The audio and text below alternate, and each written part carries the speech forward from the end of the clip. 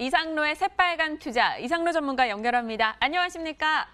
음, 네, 반갑습니다. 이상입니다.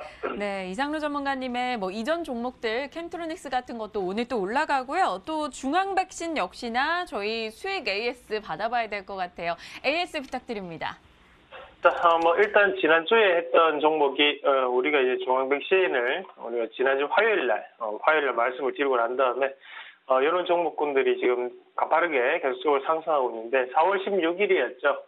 어, 요거를 이제 이런 포인트에서 잡을 때는 우리가 실질적으로 이제 손절 자체를 이렇게 잡고 난 다음에 대응을 해줘야 돼요. 그래서 여기서부터 넘어가면서 이렇게 올라가는 모습이 꾸준히 이어지는 모습이 나타났습니다.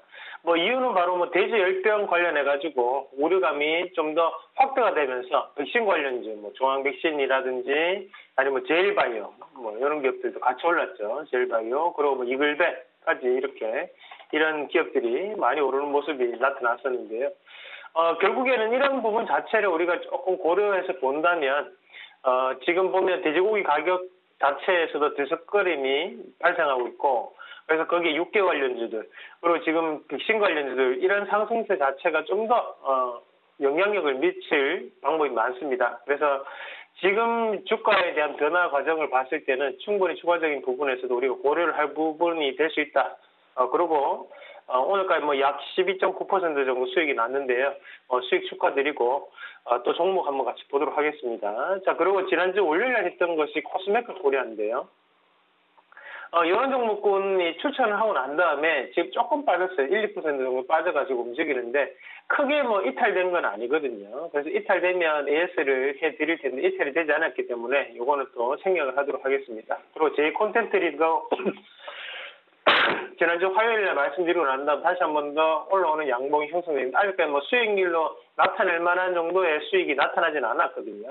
어, 그래가지고 요거는 좀 더 추가적인 상승이 나타난다면 그때 다시 한 번 더 말씀을 드리도록 하겠습니다. 자, 그럼 오늘 본격적으로 두 가지 종목을 준비해 봤는데 두 가지 종목 같이 보면서 어, 시장 얘기까지 함께 드리도록 하겠습니다. 먼저 보실 종목이 NHN 한국사이버 결제 한번 같이 보겠습니다. 자, 일단은 이 NHN 한국 사이버 결제 같은 경우에는 우리가 어, 실질적으로 이제 PG라고 하죠. PG. PG라는 것이 어, 뭐 우리가 이제 카드 대행사가 있죠. 어, 그런 카드사가 있습니다. 이 카드 우리가 많이 쓰는 카드들.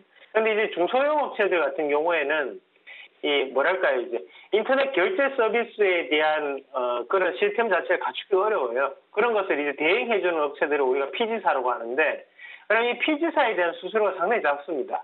어, 그렇다 보니까 주가 자체가 보시더라도 어, 고가 권역부터 시작을 해서 주가가 꾸준히 이렇게 하락하는 모습이 나타났고 어, 뭐, 50% 이상 빠졌죠. 그러나 지금 다시 한 번 더 돌아서고 있는 과정인데, 지금 이제 돌아서는 부분에서 우리가 좀 더 판단하시면서 볼 수 있는 것이, 음, 우리가 이제 키오스크라고 합니다. 이런 키오스크가 이제 무인 주문기예요. 그런데 이런 NHN 한국 사이버 결제 같은 경우는 이런 키오스크에 대해서, 어, 뭐랄까요, 온라인과 같이 접목시킴으로써 어, 거기에 따른 신성장 동력을 얻어가겠다라는 뜻으로 이 기업이 지금 현재 준비를 하고 있고 거기에 출시를 했습니다. 그 부분 자체를 고려한다면 지금에 대한 주가에서도 어, 추가적인 상승 자체를 우리가 좀 더 눈여겨볼 필요가 있다라는 말씀까지 함께 드리겠고요. 요걸 월봉을 한번 같이 바꿔서 한번 같이 보신다면 여기 이제 앞서서 이 파동 자체가 크게 올라오고 난 다음에 여기서부터 조정 파동이 이렇게 들어오는 거죠. A, B, C 파동이 이렇게 들어왔고요. 바닥을 다지고 지금 넘어가는 과정인데 어, 실질적으로 여기에서 이제 넘어가는 과정에서 봤을 때 우리가 이런 자리 하단에 있는 이런 자리를 이제 맥점이라고 합니다. 이런 맥점 자체를 지금 돌파를 어, 시도를 하고 있는 과정이거든요. 이럴 때는 이 돌파가 시도가 된다면 어, 상당한 고가 권역까지 다시 한 번 더 올라갈 수 있는 여지가 남겨두고 있다고 봅니다. 그래서 그런 부분 자체에서 우리가 이 NHN 한국 사이버 결제 종목 한번 눈여겨보시자. 그리고 앞에서 기간의 매수가 상당 부분 지금 들어오는 모습이 포착되거든요. 이 부분까지도 고려한다면 지금은 어, 기간의 이 매수 자체가 상당한 의미를 둘수 있다. 어, 저는 그렇게 판단하고 말씀을 드리도록 하겠습니다. 자, 그 다음 종목을 한번 같이 보실 종목이 인터로저 한번 같이 보겠습니다. 자, 우리가 이 인터로저라는 종목을 실질적으로 이제 수지 렌즈라고 합니다. 우리가 이, 어, 그 연예인 수지 씨가 이 인터로저에 대한 클라렌을 홍보하는 홍보 모델인데요. 어, 실질적으로 어, 그 홍보 모델 자체를 활용함으로써 어, 지금 주가에 대한 분위기에서도 반전을 좀더 꾀하고 있다. 어, 그렇게 보는 게 맞겠고요. 어, 이 주가 추이를 한번 같이 보시면 2018년도에 고가 권역을 찍고 난 다음에 우리가 이런 거를 이제 쌍봉 형태라고 하거든요. 이런 쌍봉을 찍고 지금 주가가 빠져버렸어요. 그런데 지금 우리가 이 빠지는데 가장 결정적인 이유가 뭐였냐? 결국 환율이라는 거죠. 어, 이런 렌즈 업체들 자체가 가장 많은 경쟁 업체들이 바로 일본, 일본산입니다. 그러다 보니까 이 엔화는 약세가 꾸준히 진행되고 있고, 원화는 강세로 진행됐기 때문에 이런 인터로조 같은 주가가 반등이 상당히 어려웠다는 거거든요. 하지만 지금부터 우리가 좀 더 눈여겨보셔야 되는 것이 환율이 다시 한 번 더 1135 위로 올라오는 상황에서 어, 환율에 대한 반등이 나타나고 있는 시점이기 때문에 결국엔 다시 한 번 더 이러한 one-day 렌즈가 상당한 경쟁력을 다시 한번 회복할 수 있다라고 저는 판단합니다.